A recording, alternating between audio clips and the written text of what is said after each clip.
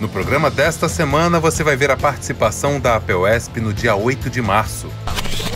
Vai conhecer o cursinho popular criado por professores em Diadema. E vai acompanhar a entrega do prêmio Inesita Barroso na Alesp. Confira. A chuva não impediu que centenas de mulheres ocupassem a Avenida Paulista rumo à caminhada até a Praça Roosevelt, em ato de protesto no Dia Internacional da Mulher.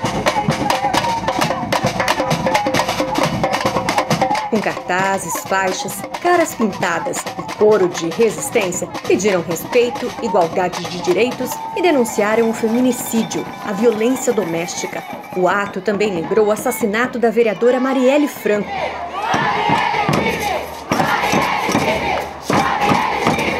Estar aqui hoje é estar representando todas as mulheres, em especial as mulheres negras que são mais mortas, né, na mão de polícia, nas mãos dos seus ex-companheiros, e a gente precisa lutar contra isso. Atualmente, o nosso governo, ele concorre contra essa luta, né? Ele apoia movimentos que ele não deveria apoiar e ações que ele não deveria apoiar. Então, estar aqui é fazer força, fazer eco com toda essa mulherada, homens também que estão presentes, que apoiam a igualdade de gênero. A luta das mulheres não é das mulheres, é de uma outra sociedade, respeitando as diferenças pensando numa sociedade solidária, socialmente justa. Juntaram-se a uma única voz colombianas, bolivianas e venezuelanas, mulheres que sofrem duplamente, enfrentando preconceito por serem imigrantes. Segundo uma pesquisa divulgada pelo IBGE, o número de mulheres no Brasil é superior ao de homens. Somamos 51,7%, mas estamos longe de termos os mesmos direitos. Na Assembleia Legislativa de São Paulo, por exemplo, dos 94 deputados estaduais, apenas 18 são mulheres. Dentre elas está a professora Bebel. Dia 18, professores fecharão as escolas, trabalhadores pararão, porque o Brasil vai parar, São Paulo vai parar. Nós vamos mostrar nossa força, a nossa garra. Avante, mulheres! Juntas venceremos! A nossa luta lá na LES, pelo Fundeb permanente, por mais verbas, por educação pública, por cultura, né, por educação de qualidade, não é senão outra luta para acabar com as desigualdades nesse estado e no país.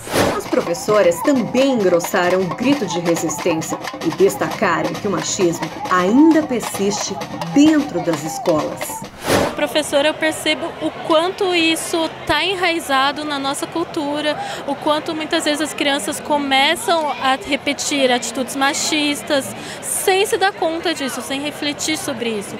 Por isso que é importante professoras e professores tentem também desconstruir isso em sala de aula. O dia 7 de março marcou uma nova etapa para 60 jovens da região do ABC Paulista. Numa parceria entre a POESP e Unifesp, iniciou-se uma nova turma do Cursinho Popular do programa Articulações em Diadema. A professora Eliane, que se doutorou estudando a relação entre pesquisa e prática social, explica como surgiu a ideia de fazer essa articulação na Unifesp. Acabei conseguindo fazer uma rede, né, uma rede de parcerias. Então, uma das primeiras parcerias que eu fiz foi com o pessoal da PUESP, foi com a, os professores né, da escola básica. Eu contei muito com o auxílio do Mário, do Antônio Jovem é, para que eu me articulasse mais com as escolas básicas. Também com o estágio supervisionado, a gente começou a fazer um trabalho de maior proximidade com as escolas. É, e aí, mais ou menos em meados de 2016, a gente começou a apoiar os cursinhos populares. Então, nós conhecemos a professora Eliane na, na ocasião daquela, das ocupações aqui do estado de São Paulo. E aí fizemos uma amizade e tal, né, de uma certa forma ela ia sempre lá na, na, nas ocupações tal, aí no Cefam, a POS teve um papel importante nesse período, né? Porque nós apoiamos os estudantes naquela, naquela, e os pais, né, na, na, naquela ocasião. E aí, a partir daí eu comecei no projeto, né, 2016, 2017, 2018, 2019 e agora 2020. Já tem quatro anos nós estamos nesse, nesse projeto, né? É um projeto que visa aí é, dar oportunidade para os alunos de escola pública, entendeu? Entrar na universidade pública. O nosso foco é o aluno de escola pública, na universidade pública. É, nós fazemos uma mediação entre os professores da rede pública e os professores, enfim, na Unifesp, né, para poder fazer essa parceria, para poder dar aula é, voluntário, né, gratuitamente, né, em nome de um projeto, em nome de uma de, de um projeto de Brasil, né? O professor João Duarte, diretor da Unifesp, destaca que o cursinho é focado nas universidades da região do ABC.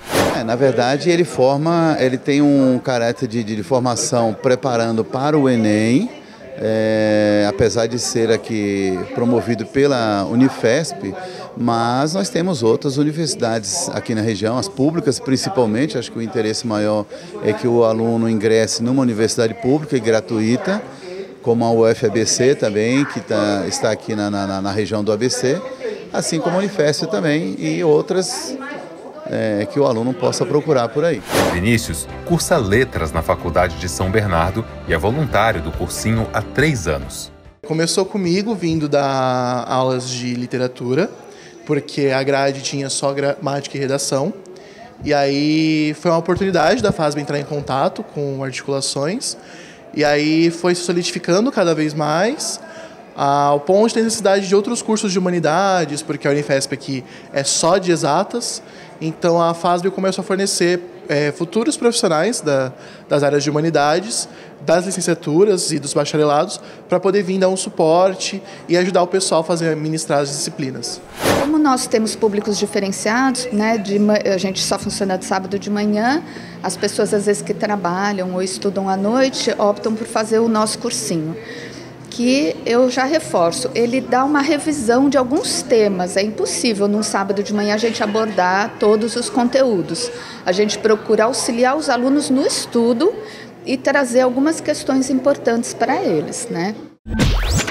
Um espaço conhecido por sediar sessões acaloradas também. É regimental, Major Meca pode. Ganhou leveza e música na sessão solene da quarta edição do Prêmio Inesita Barroso, realizado no dia 6 de março, na Alesp.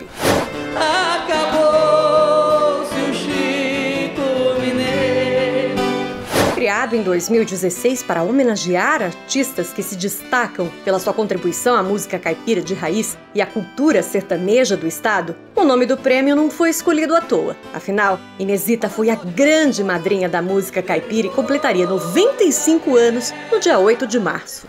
Tradicionalmente, a premiação, que contempla 10 artistas, é resultado das indicações de parlamentares e sociedade civil. Neste ano, porém, por iniciativa da Comissão de Educação e Cultura, presidida pela deputada estadual professora Bebel, mais dois artistas foram premiados. A proposta é que nas próximas edições esse número chegue a 22.